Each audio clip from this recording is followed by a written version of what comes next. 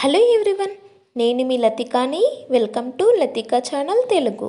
ఇవాళ మన వీడియో వచ్చేసి కాకరకాయ కర్రీ అండి. ఈ కాకరకాయ కర్రీ మాత్రం టేస్ట్ చాలా బాగుంటుందండి. అంటే కొంతమంది చేదుగా ఉంటుందని ఇష్టపడదు కదా అండి. సో ఈ విధంగా ఒకసారి ట్రై చేయండి. అసలు చేదు అనేది కూడా ఉండదు. ఇష్టంగా తింటారు. అలాగే నా ఛానల్ని ఫస్ట్ టైం చూస్తే కనుక సబ్స్క్రైబ్ చేయండి. ఓకే మరి వీడియోలోకి వెళ్ళిపోదామా? ఆనియన్స్ కట్ చేసుకోవాలండి. ఈ విధంగా వీలైనంత చిన్న ముక్కలుగా కట్ చేసుకోవాలి. మూడు మీడియం సైజ్ ఆనియన్స్ తీసుకొని మీకు వీలైనంత చిన్నగా కట్ చేసుకోండి. ఇక్కడ పావు కేజీ కాకరకాయలని తీసుకున్నానండి. లోపల గింజలు అలాగే పైన తొక్కు తీసేసుకొని ఈ విధంగా మీడియం సైజులో కట్ చేసుకొని పక్కన పెట్టేసుకున్నాను. నిమ్మకాయ సైజ్ అంతా చింతపండుని వాటర్లో నానబెట్టేసుకోవాలండి. కర్రీ ప్రిపరేషన్కి ముందే చింతపండుని నానబెట్టుకోవాలండి. మనం ముందుగా కాకరకాయలని కట్ చేసుకొని పక్కన పెట్టుకున్నాం కదా. ఇప్పుడు అందులో ఒక టేబుల్ స్పూన్ వరకు సాల్ట్ని వేసి ఈ కాకరకాయలు మునిగేంత వరకు వాటర్ని వేయాలండి. ఈ విధంగా సాల్ట్ని వేయడం వలన కాకరకాయలు అనేవి అస్సలు చేదు రాదండి. ఈ విధంగా ఒకసారి ట్రై చేయండి.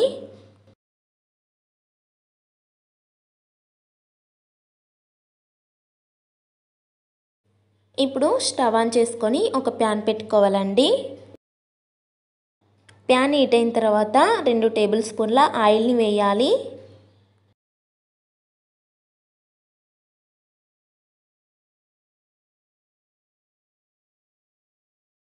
ఆయిల్ హీట్ అయిందో లేదో చెక్ చేసుకొని ఒక టేబుల్ స్పూన్ వరకు జీలకర్రని వేయాలి.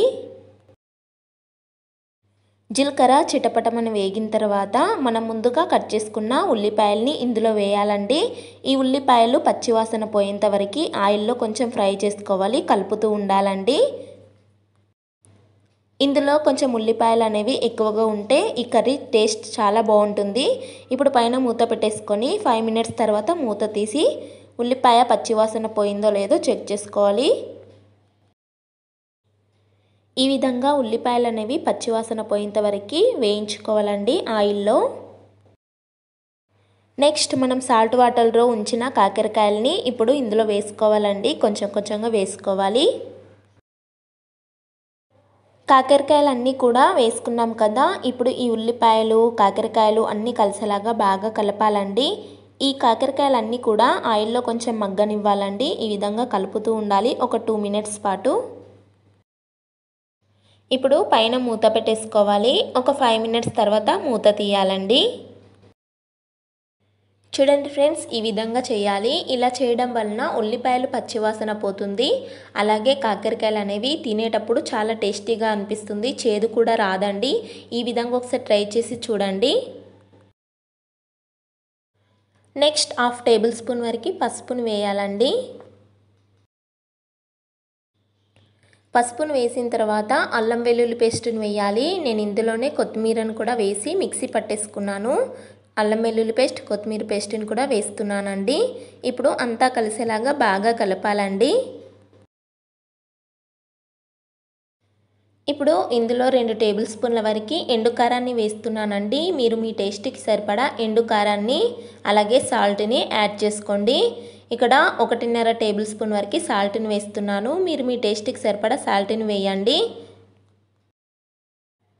హాఫ్ టేబుల్ స్పూన్ వరకు ధనియాల పొడిని వేస్తున్నానండి. ఇప్పుడు ఇవన్నీ వేసాం కదా అంతా కలిసేలాగా మరోసారి బాగా కలపాలండి. ఈ మిశ్రమాన్ని అంతా బాగా కలిపిన తర్వాత మనం ముందుగా నిమ్మకాయ సైజ్ అంతా చింతపండుని నానబెట్టుకున్నాం కదా. ఇప్పుడు ఆ చింతపండులోంచి గుజ్జును అదే అండి రసాన్ని తీసి ఇందులో వేయాలండి. మీకు ఎంతైతే చింతపండు రసం అవసరమవుతుందో అంత వేసి బాగా కలపాలి. రెండు రెమ్మల కరివేపాకుని వేసి పైన మూత పెట్టేసుకొని ఫైవ్ టు టెన్ మినిట్స్ పాటు బాయిల్ చేసుకోవాలండి. ఇప్పుడు మూత తీసి చూడాలండి. చూడండి ఫ్రెండ్స్ ఈ విధంగా ఉడికించుకోవాలి. ఇప్పుడు రెండు టేబుల్ స్పూన్ల వరకు నువ్వుల పొడిని లేదా ఈ విధంగా దంచుకొని పెట్టుకున్న పేస్ట్ని కూడా వేసుకోవచ్చండి. ఇప్పుడు ఈ నువ్వుల పేస్ట్ అంతా కలిసేలాగా బాగా కలపాలండి. ఈ మిశ్రమాన్ని అంతా కూడా బాగా కలిపిన తర్వాత ఒకటి లేదా రెండు టేబుల్ స్పూన్ల వరకు బెల్లాన్ని వేయాలండి. బెల్లం ప్లస్లో షుగర్ని కూడా వేయొచ్చండి. బెల్లం వేయడం వలన ఈ కాకరకాయ కర్రీ అనేది చాలా టేస్టీగా వస్తుంది. ఒక ఫైవ్ మినిట్స్ తర్వాత స్టవ్ ఆఫ్ చేసుకోవాలండి. ఇంతే ఫ్రెండ్స్ ఎంతో సింపుల్గా ఉండే మన కాకరకాయ కర్రీ రెడీ అయిపోయింది. ఇది మొక్కజొన్న రొట్టె అలాగే జొన్న రొట్టెలోకి చాలా చాలా బాగుంటుంది. మీరు కూడా ఈ విధంగా ఒకసారి తప్పకుండా ట్రై చేసి ఎలా వచ్చిందో నాకు కామెంట్ సెక్షన్లో చెప్పండి. అలాగే నా ఛానల్ని ఫస్ట్ టైం చూస్తే కనుక సబ్స్క్రైబ్ చేయండి. పక్కనే బెల్ ఐకాన్ని క్లిక్ చేయండి. బెల్తో చేయడం వలన ప్రతి నోటిఫికేషన్ మీ వరకు వస్తుంది.